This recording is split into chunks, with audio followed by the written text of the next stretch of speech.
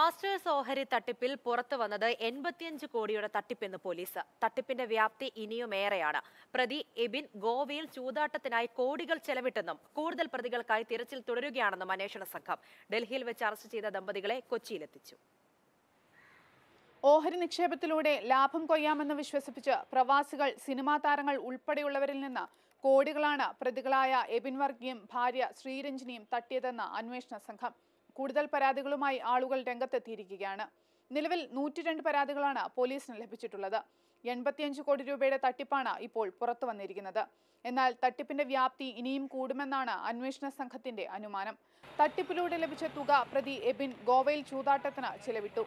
നിലവിൽ ആറു കേസുകളാണ് പ്രതികൾക്കെതിരെ രജിസ്റ്റർ ചെയ്തിരിക്കുന്നത്. ഓഹരി തട്ടിപ്പിൽ കൂടുതൽ പ്രതികൾക്കായുള്ള തിരച്ചിലിലാണ് പോലീസ്. പണം എവിടെയൊക്കെ നിക്ഷേപിച്ചിട്ടുണ്ടെന്നും അന്വേഷിക്കും. ഇന്നലെ ഡൽഹി വിമാനത്താവളത്തിൽ വെച്ച് പിടിയിലായ ദമ്പതികളെ ഇന്ന് കൊച്ചിയിലെത്തിച്ചു. പോലീസ് ഇവരെ വിശദമായി ചോദ്യം ചെയ്യും. മാതൃഭൂമി ന്യൂസ് കൊച്ചി.